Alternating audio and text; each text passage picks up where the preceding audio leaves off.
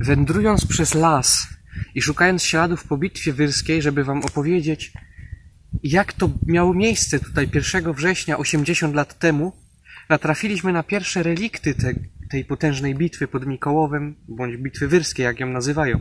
Oto jest lej po wybuchu bomby.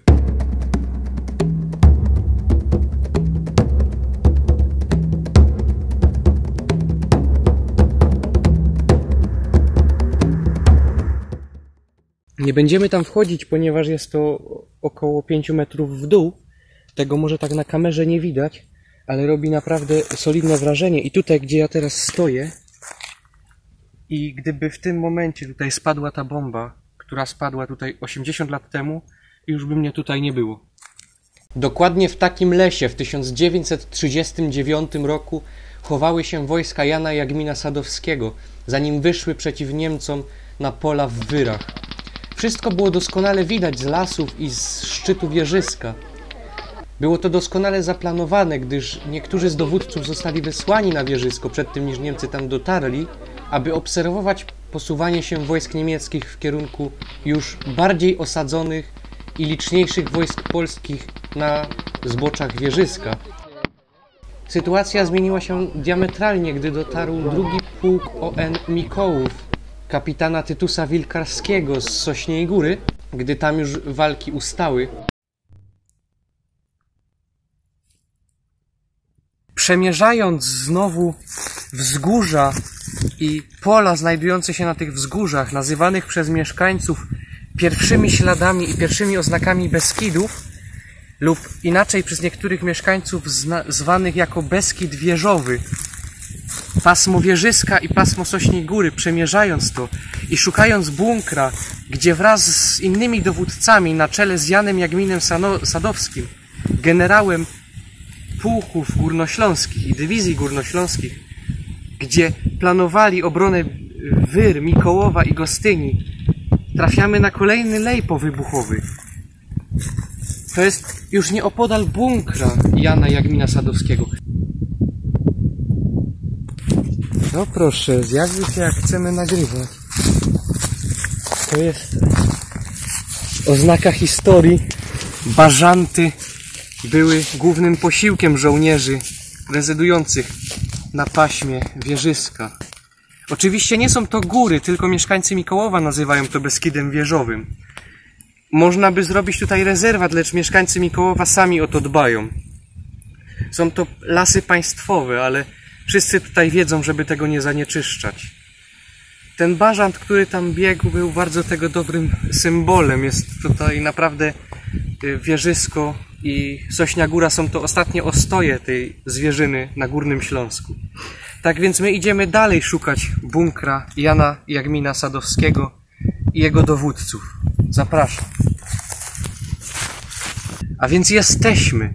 To tutaj, dokładnie 1 września 1939 roku, Jan Jagmin Sadowski wraz ze swoimi dowódcami Wojska Polskiego i pułków oraz wszystkich wojsk z Górnego Śląska planowali obronę Wyr i Mikołowa. To ten bunkier stał się bunkrem głównego dowodzenia. Jesteśmy na nim, ponieważ było tutaj bardzo łatwe wejście. Zaraz pokażemy Wam go z zewnątrz. I niestety obie bitwy skończyły się przegraną taktyczną Polaków, ale nie przewagą i wygraną niemieckich wojsk jako takie, ponieważ Niemcy wygrali tylko i wyłącznie taktycznie, nie siłowo i nie praktycznie, dlatego że Niemcy otoczyli naszych i wymordowali naszych do praktycznie ostatniego żołnierza.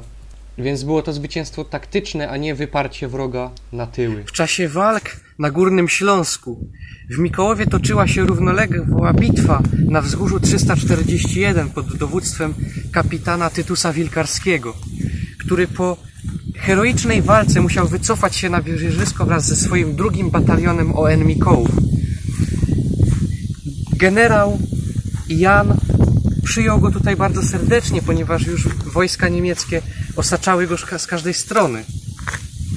I tak Polacy przegrali niestety tą bitwę zwycięstwem taktycznym Niemiec, przetrzesując pobliskie lasy w poszukiwaniu pozostałości po 1939 roku trafiliśmy na piękną odkrywkę jurajską zrobioną najprawdopodobniej przez Niemców w czasie kampanii wrześniowej.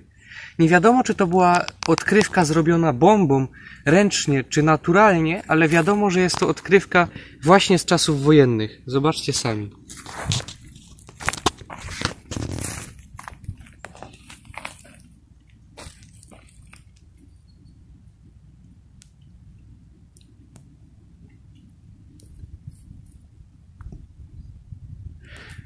Wysokość jednej takiej półki skalnej to na oko około 30 metrów w dół. Robi wrażenie, tym bardziej, że stoimy na samej krawędzi.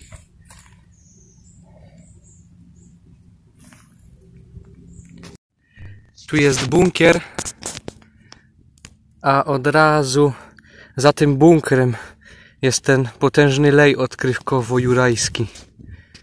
To jest niedaleko, no to jest 5 minut drogi od głównej, głównego szczytu wieżyska. Także zapraszam do zwiedzania.